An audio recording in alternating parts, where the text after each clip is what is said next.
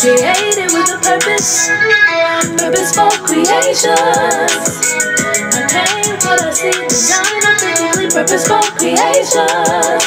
I paint what I see, God is using me. Created with a purpose, purposeful creations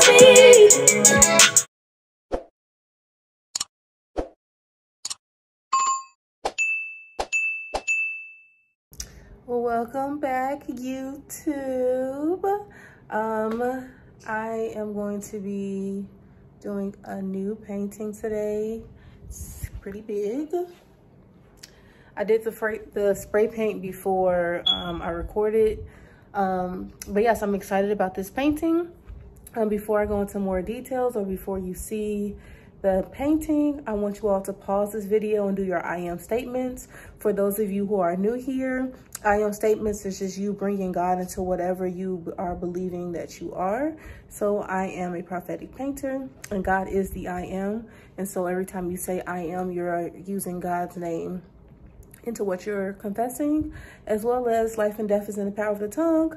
So speak life so that you may um, reap, uh, um, reap life.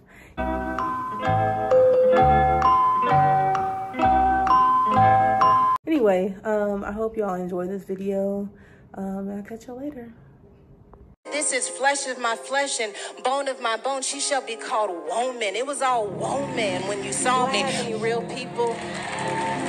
The other day, a young lady, brown as the melanin in my daughter's eyes, said behind the mic that she hated being a woman. She wanted to know what it meant to be one.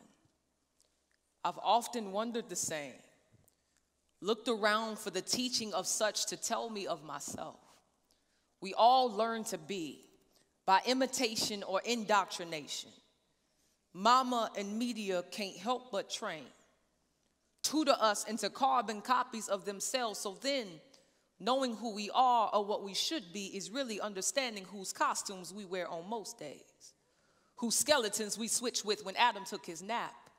I was told a woman was independent, autonomous, that she needed not a man or moon to keep her in orbit that she moved about as wind and breeze, lived without needing permission to interrupt all that is still and under restraint. I was told a woman cannot truly be herself, that is, if herself is not light enough, dark enough, if her hair is no Rapunzel replica, or if it be too underground railroad for those cotton acting men to stomach. I was told that my body is neither belonging of me nor its beauty innate, but that I am not gorgeous unless told by another woman's son to be so. When did the mouth of men in whose image women are not made in begin to damage us so silently? Maybe it was when we began believing the voices that have no deity in it. I was told a woman should not submit, should not be meek, that that type of behavior was only for women who treated their voice like a secret. I was told not to be a secret, but a siren, to be as machete as I can and honor my opinions at the expense of respect. While some men may believe themselves to have liberty over a woman's body as taught how to destroy as only depravity could predict, we have equally learned how to tear and rip and undo dignity with a mere sentence or squint. It's called strong by society. They tell us that's what a backbone looks like.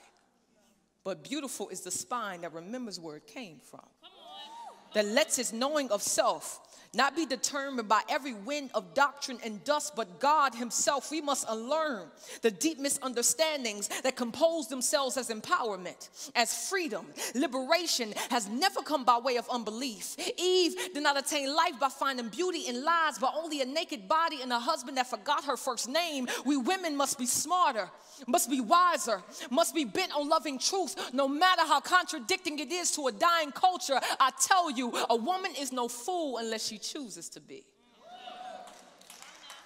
If you ask me, what is a woman? I would tell you that she is a bone made alive with distinctions that set her apart, as does the difference between a firefly and a new poem.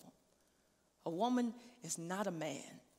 Her calling is not a synonym of inferiority. Her distinctions are not the child of patriarchy, they come from a creative God. Did you see his fingerprints in your hips?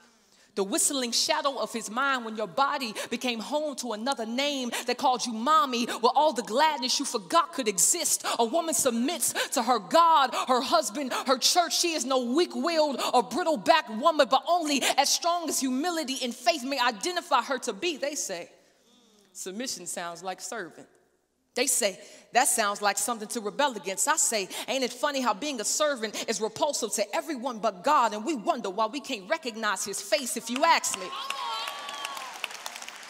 If you ask me, what is a woman?